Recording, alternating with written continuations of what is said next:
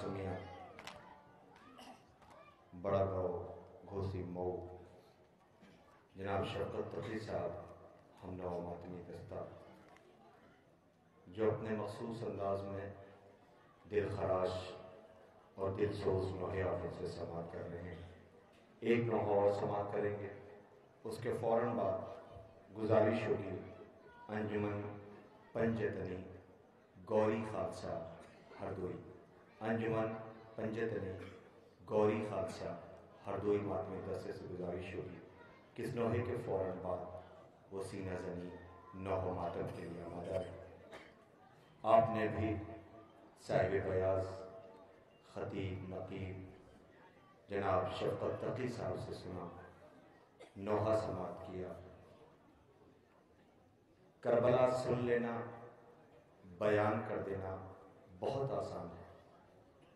آج کی شبیداری میں دور دراز سے آئی ہوئی انجمن ہے ماتمی جس میں انجمن جعفریہ رجسٹرڈ، جلال پور، انجمن رضا حسین، جلال پور، انجمن عابدیہ امامباڑہ فیض آباد، انجمن سجادیہ سجاد با، انجمن دعا زہرا مفتی گنج یہ انجمنیں نوحہ پیش کریں گی۔ آپ کیسے پرسہ پیش کریں گے؟ نہیں پتا۔ لیکن آپ کو پتا ہے پہلی انجمن کون سی تھی اور پہلی انجمن میں کیسے مسائل پڑھے؟ تاریخ کربلا کے بعد سب سے پہلی انجمن جو زندان سے رہا ہو کے کربلا پہنچی۔ اور اگر امام سجاد حکم نہ دیتے، تو اس انجمن کے جتنے ماتمی تھے سب مر جاتے۔ اس لیے کہ گیارہ محرم کو تو انہیں ایسے گزار دیا گیا تھا کہ وہ کے کہتے تھے شکوہ اس بات کا ہے کہ ہمیں لاشوں کے درمیان سے ایسے گزارا گیا۔ ایسا لگتا تھا جیسے لاشوں سے ہمارا کوئی رشتہ ہی نہ ہو۔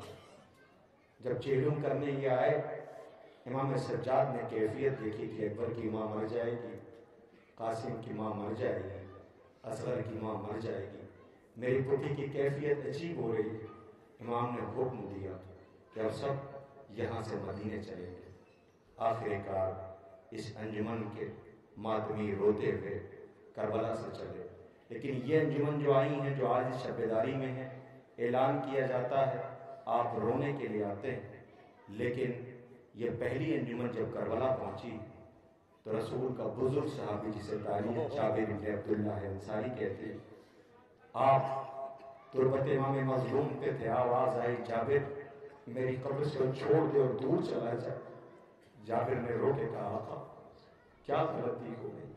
کہ جابر، میری لٹی ہوئی، آزاد ہو کر میری پھوپھی زینب آ رہی۔ جابر، میں اسے ایک لمحے کی جدائی برداشت نہیں کر سکتا تھا۔ آج میری بہن آ رہی ہے۔ جابر قبر کو چھوڑ دو۔ جابر روتے ہوئے گزر گئے۔ بس، نوحہ سننے کے لیے آپ آمادہ اور پرسہ پیش کریں۔ صرف ایک سوال کر لوں، جیسا کہ شفقت بھائی نے کہا کہ کربلا میں کیا مصیبتیں ختم ہو گئی کربلا میں مصیبتیں ختم ہو گئی نہیں. کربلا سے پوچھئے مختل سے مختل یہ آواز دے گا کہ حسین کی شہادت کے بعد سلسلہ شہادت کا ختم نہیں ہوا۔ اگر ہوا ہے تو وہ پینسٹھ بچے کہاں چلے گئے؟ جو گیارہ محرم کو زینب کے ساتھ چلے تھے۔ لوٹ کے جب ہمیں کلسوم آئی اے نانا کے مدینے ہمارا آنا قبول نہ کرنا۔ ہم جب گئے تھے تو بچے ساتھ تھے، آج آغوش ویران ہو گئی ہے۔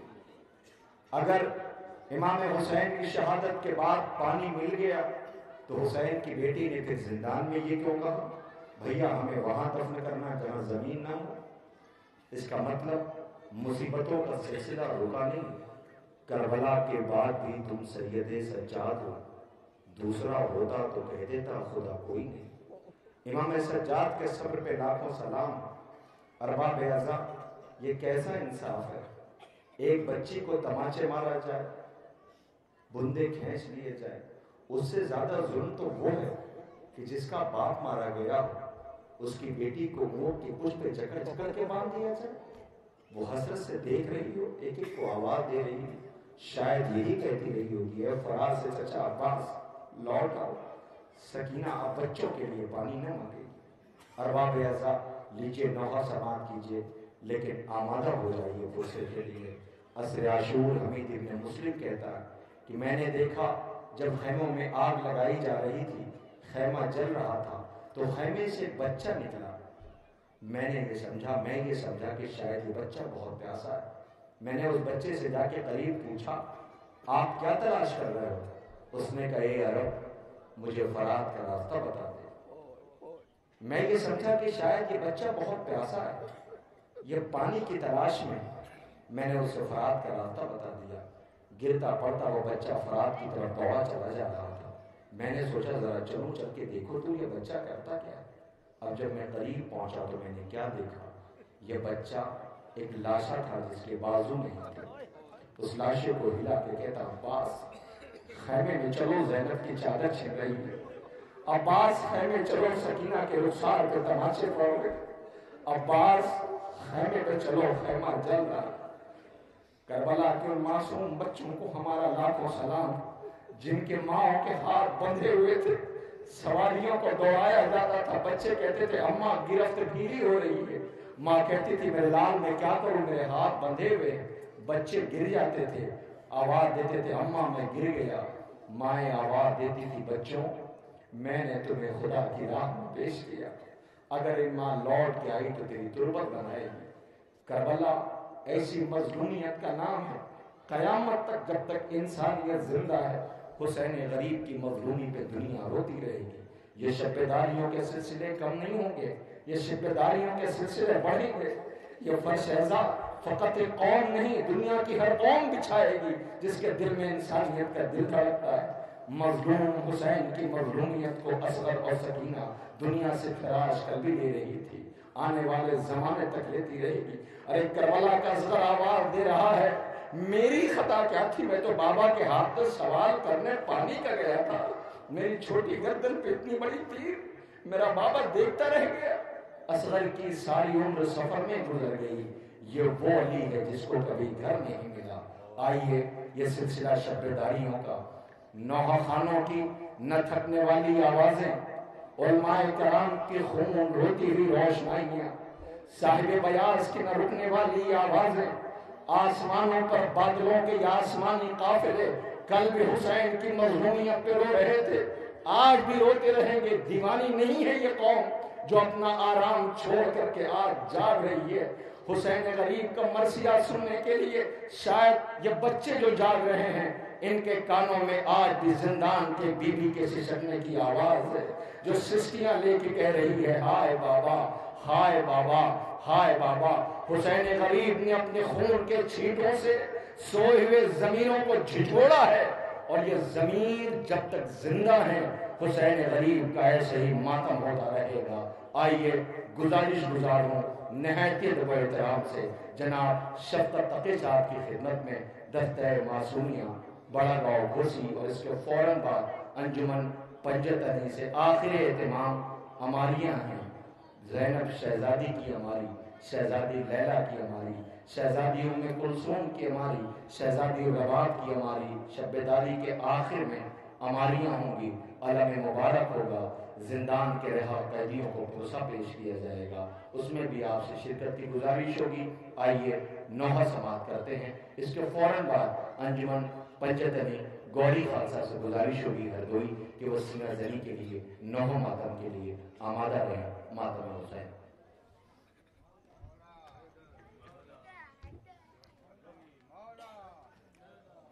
حرم پر شام والی عورتیں پتھر چلاتی تھی حرم پر شام والی سماعت کہیں گے تصورات چلاتی اگر مردوں میں بغض حیدر تھا۔ تو شام کی عورتوں میں بھی بغض حیدر تھا۔ انہیں پتا چلا کہ علی کی بیٹیاں آ رہی تو اپنی چھتوں سے پتھر مارا۔ کہیں گرم پانی پھینکا، یہاں تک کہ مولا سجاد کے اوپر انگارے پھینکے۔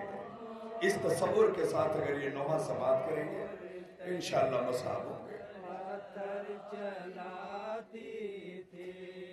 وہ اپنی اپنی چھت سے کھولتا پانی گراتی تھی۔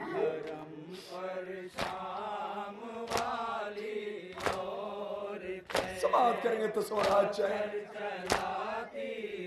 اور وہ اپنی اپنی چھت سے کھولتا پانی گراتی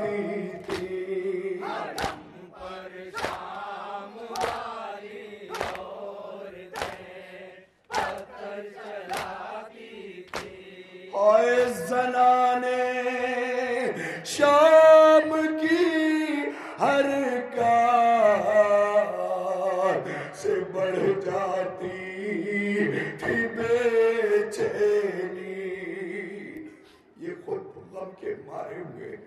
ستائے ہوئے ہیں۔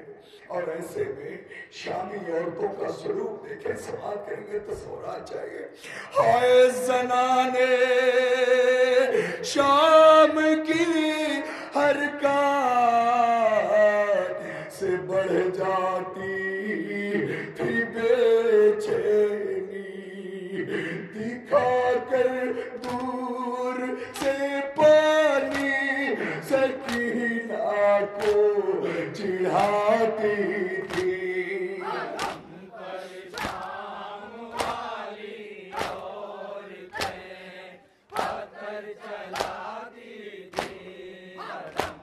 سماعت کریے زدارو ایک ایک بند تصورات کے ساتھ پتھر چلاتی آئے وہ اپنی اپنی چھت سے کھولتا پانی گراتی تھی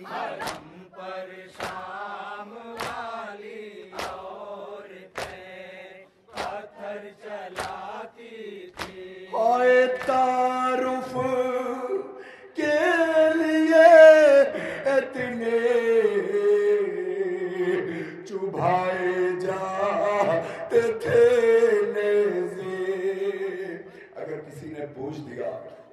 کون ہے یہ جو ساری بیویاں ہیں، تو تعارف کے لیے ملائی نیزہ اٹھاتے تھے۔ اور نیزے چبھو کے بتاتے تھے، یہ زینب ہے، یہ ام کلثوم ہے، یہ فضا ہے، یہ سکینہ ہے، یہ سید سجاد ہے۔ سماعت کریں گے کسی اور آ جائے ہائے تعارف کے لیے اتنے چبھائے جاتے تھے نیزے محمد زادیاں اکثر لہو میں ڈوب جاتی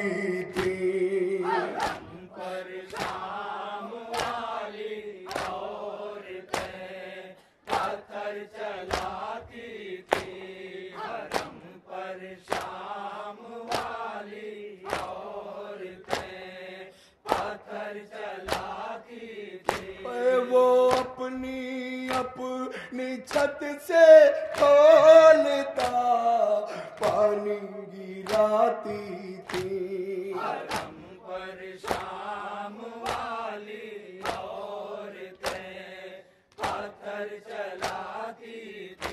اوے تماچے کھا کے خاموشی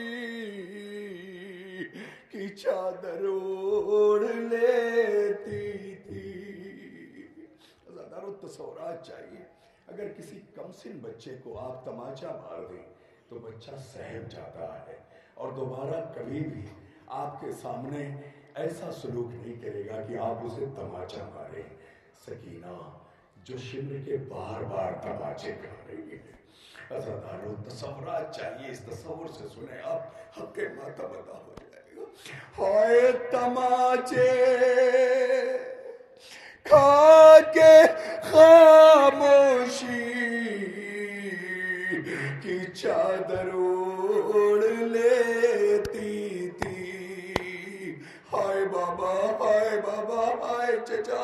اگر کہہ کے روتی تھی، شبر ملون آگے تماچے مارتا تھا۔ اب ایک بچہ کیا کر سکتا ہے؟ سوال کریں گے تو سورات چاہے تماچے کھا کے خاموشی کی چادر اوڑھ لیتی تھی۔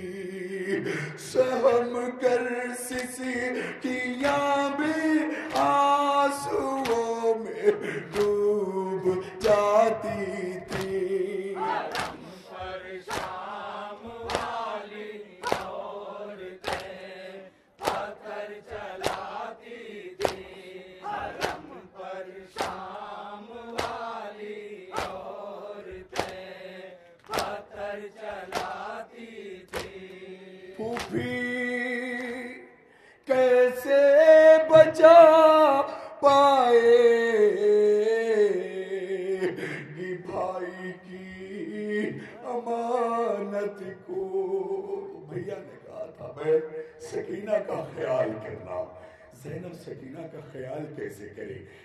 زینب دوسرے اونٹ پر اور سکینہ کسی اور اونٹ پر بندھی ہوئی ازادارو کیسے خیال کرے روایت کا ایک فکرہ میں نے دیکھا کہ رات میں جب ملائن سو جاتے تھے اور زینب کو ذرا بھی موقع ملتا تھا تو کہیں اور نہیں جاتی تھی سکینہ کے پاس جاتی بیٹیا میرے سینے پہ سو جا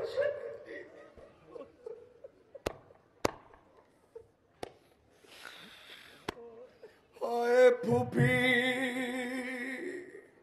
کیسے بچا پائے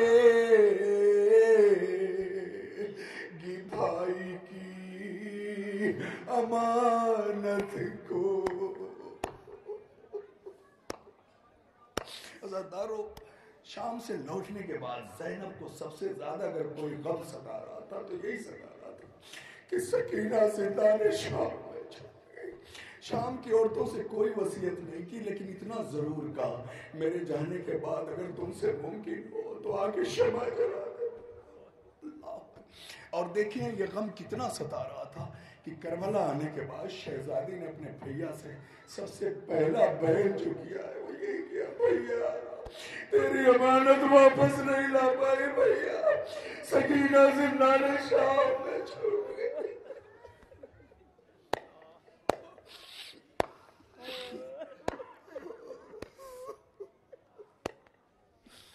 پھوپھی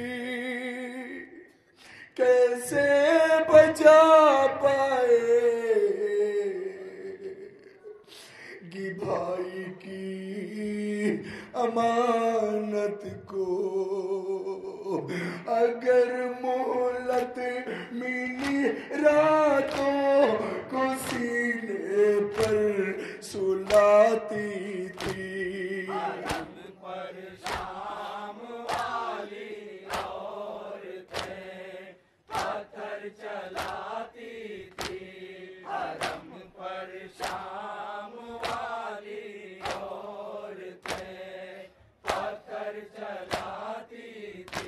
اوے کھڑا ہونا پڑا بازار میں زینب کو جب گھنٹوں بابود صاحب بہتر گھنٹے علی کی بیٹی کھڑی ابھی کھڑے میں دیکھ رہا ہوں کچھ لوگ پہلے نوہے میں نہیں کھڑے رہ سکے باہر گئے دوسرے لوگ تھوڑی دیر ہو جاتی ہے، اگر کسی کو سننا بھی ہے تو کبھی اس پیر کو اٹھاتا کبھی اس پیر کو اٹھاتا بہتر گھنٹے علی کی بیٹی کھڑی رہی ازادار و تصورات کے ساتھ پیش کر رہا اس بن کو جاؤ۔ ہائے کھڑا ہونا پڑا۔ بازار میں زینب کو جب گھنٹوں یک بادی گر ایک ایک پاؤں کو اٹھاتی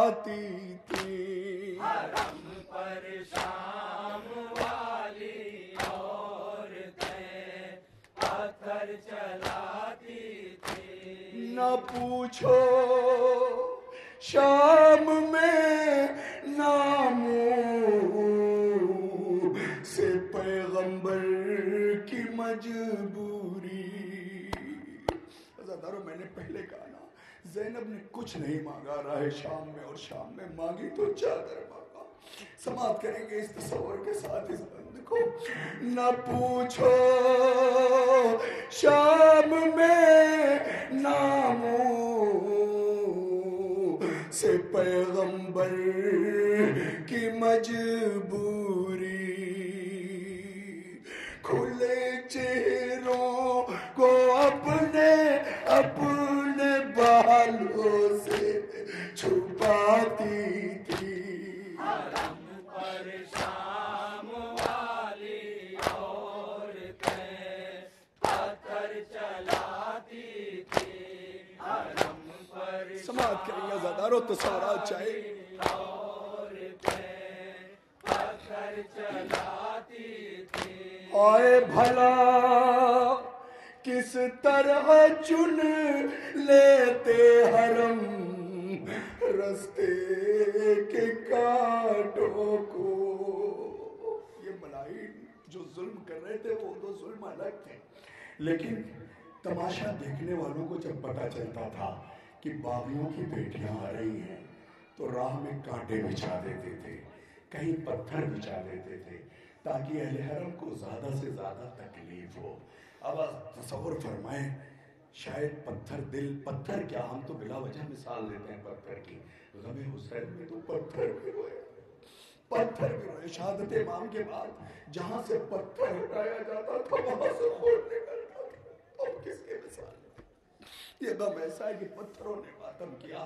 اب اس تصور کے آپ ساتھ آپ اس کو سنیں، اس بند کو انشاءاللہ مساو ہوں گے اور جب جب تصور میں لائیں گے۔ بھلا کس طرح چن لیتے حرم رستے کے کانٹوں کو نہیں، ذہن نہیں پہنچا۔ ہاتھ خالی ہوتے تو شاید وہ کانٹے لے لے کر ہم اپنے ہاتھوں سے ہٹا لیتے مگر ہاتھ پسے گردن باندھے گئے۔ اور کانٹوں پر چلایا جا رہا۔ اب تصور آپ کے پہنچ گئے، انشاءاللہ بس آپ ہائے بھلا کس طرح چن لیتے حرم؟ رستے کے کانٹوں کو۔ یہ کیا کم ہے کہ زخمی پاؤں سے پتھر ہٹاتی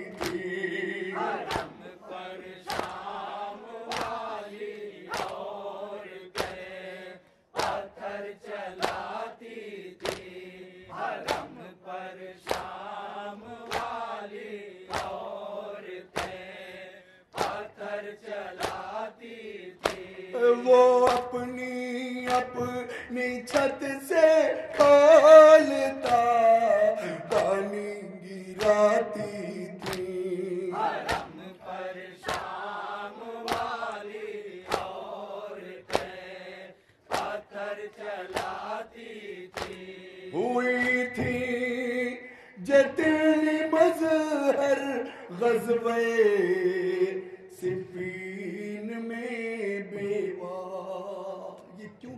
رہا تھا ہر انسان جو کربلا کو نہیں جانتا، وہ یہ سوچتا ہے کہ آخر اتنے ظلم کیوں امام حسین نے کربلا میں ہی شامی فوج سے اگلوا لیا۔ کیوں قتل کر رہے ہو؟ کیوں مجھے مار رہے ہو؟ کیا میں نے دین میں کوئی رد و بدل کی؟ میری خطا کیا ہے؟ تو سب نے کہا بوزن لے ابھی تمہارے باپ کی دشمنی میں قتل کر رہے۔ یزیدی میڈیا نے پرچار کیا، یہ خارجی ہیں، یہ خارجی۔ صرف کربلا میں حسین کو قتل کرنے کے لیے فوج نہیں آئی تھی، گاؤں کے گاؤں خالی آئے تھے۔ گاؤں کے گاؤں خالی ہو کر آئے تھے کہ خارجی کو قتل کرنا ہے۔ اور ان کے ہاتھوں میں پتھر تھے۔ فوجیوں کے ہاتھ میں پتھر نہیں ہوتے، تیر ہوتے کمار ہوتے۔ مگر کربلا میں حسین پر پتھروں سے حملے ہو رہے تھے۔ یہ کون تھے جو یزیدی میڈیا نے پرچار کیا تھا؟ یہ خارجی ہے یہ خارجی۔ بس ایک واقعہ آخری مقتے کا بند۔ حق ماتم ادا ہو جائے بصرے کا ایک پہلوان تھا، شکار کو گیا تھا۔ جب عاشورہ کے دن لوٹا، تو اس کا پورا گاؤں خالی تھا۔ گھر پہنچا تو بیٹی باہر آئی۔ کہا، بابا، اب آ رہے ہو۔ کہا ہاں کیا ہوا؟ پورا گاؤں خالی کیوں ہے؟ کہا، بابا، ایک خارجی کو قتل کرنے کے لیے پورا گاؤں کربلا گیا ہوا ہے۔ بابا سب تمہیں ڈھونڈ رہے تھے، تم بہت بڑے پہلوان ہو، لیکن تم نہیں ملے۔ بابا تم بھی جلدی جاؤ، ورنہ کل کو پورا گاؤں، پورا محلہ تانا دے گا کہ سب سے بڑا پہلوان ہونے کے بعد بھی نہیں گیا۔ اس شکاری نے سامان رکھا، نکل پڑا۔ ابھی تھوڑی دیر دور پہنچا تھا کہ بیٹی نے پھر آواز دی۔ بابا، جب کربلا سے خارجی کو قتل کر کے لوٹنا تو میرے لیے انگوٹھی لے کے آنا۔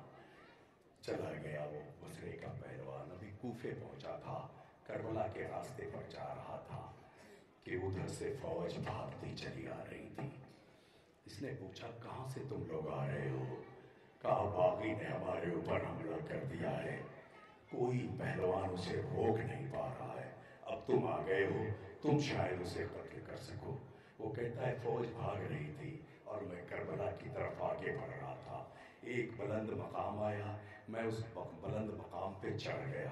میں نے دیکھا کہ کربلا کی جانب سے گرد و غبار میں ہٹا ہوا ایک نورانی چہرہ آ رہا ہے۔ مجھے تعجب ہوا کہ یہ سب کہہ رہے تھے کہ خارجی ہے، لیکن اس کے چہرے سے تو نور ساتے ہو رہا ہے۔ کہتا ہے، میں نے انتظار کیا، وہ نور اور قریب آئے اور قریب آیا۔ تو میں نے بڑھ کے پوچھا ہے نورانی چہرے، تم کون ہو؟ یہ لوگ تو کہہ رہے تھے کہ باغی ہو۔ مگر تم تو باغی نہیں لگتے۔ اس نورانی چہرے نے آواز دی یہ پہلوان بسرا، تم مجھ سے جنگ کرنے کے لیے اب آئے ہو جب ہمارا اکبر مار ڈالا۔ جب ہمارا عباس مار ڈالا۔ پہلے آتے، جب یہ سب زندہ تھے۔ اے پہلوان بسرا، اب میں جنگ کرنے کے لائق اپنے جوان بیٹے کا لاشا اٹھا چکا۔ ازادار تصورات کے ساتھ۔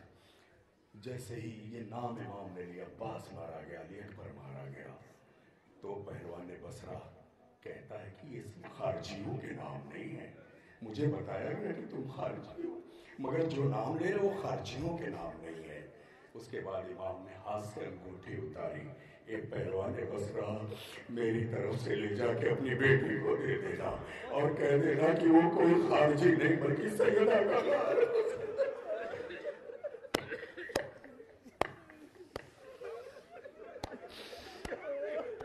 جیسے ہی حسین کا نام سنا، پہلوان بسرا بے ہوش ہو گیا۔ حق ماتم ادا ہو گیا۔ جس مولا سلامت رکھے آپ کو۔ انہوں نے والوں کو بچے توڑنے برسا میور جو چرن بسے ہو تو یہ اپنا میں پڑھ چکا۔ بے ہوش ہو گیا۔ اب امام آئے۔ آنے کے بعد میدان کربلا میں گئے۔ بہت دیر ہو گئی۔ پہلوان بسرا کو جب ہوش آیا تو اس نے فوراً تلوار نکال لی کہا آقا تم کدھر گئے میں آپ کی طرف سے جنگ کروں گا، آقا، میں آپ کی حفاظت کروں گا، میں آپ سے لڑوں گا۔ یہ کہتے ہوئے پہلوان بسرا کربلا کی طرف بڑھتا جا رہا ہے۔ ابھی راستے ہی میں تھا کہ زمین ہلنے لگی سیادیاں چلنے لگی۔ پہلوان بسرا آواز دیتا ہے، آقا، بس میں آ رہا ہوں۔ یہ طوفان بھی مجھے نہیں روک سکتا۔ پھر آگے بڑھا۔ اب جب آگے بڑھا تو اس کے کانوں میں آواز آئی۔ اللہ قتل الحسین اللہ زبہ الحسین مولا سلامت رکھے رونے والوں مولا سلامت رکھے نزادار تو یہ سب دشمنی علی میں ہو رہا تھا۔ بغزن لے ابھی یہ عورتیں جو شام کی تھی وہ اس لیے پتھر لے کے بیٹھی کہ ہم اپنے صفین میں جو قتل ہوئے، ان کا بدلہ پتھروں سے علی کی بیٹی کو مار کے لے گئے۔ تو اس لیے پتھر برسائے جا رہے تھے۔ بس دو بند میں نے چھوڑ دیا، ماتا۔ ہوئی تھی جتنی مظہر غزوہ صفین میں بیوہ۔ ہم سن کے رو رہے ہیں، مگر وہ عورتیں کتنی سخت دل تھیں کہ رو نہیں رہی تھیں۔ علی کی بیٹیاں مقید تھی اور شامی عورتیں چھتوں پہ بیٹھ کے ہنس رہی ہوئی تھی جتنی مظہر غزوے سفین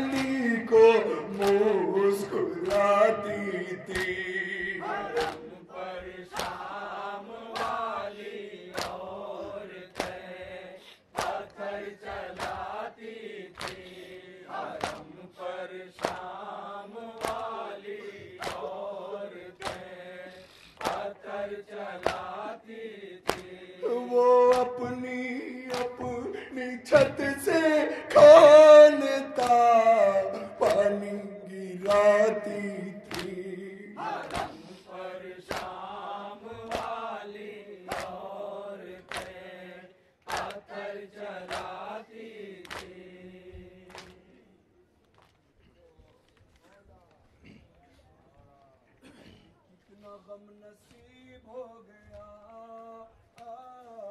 آئے میں غریب ہو گیا۔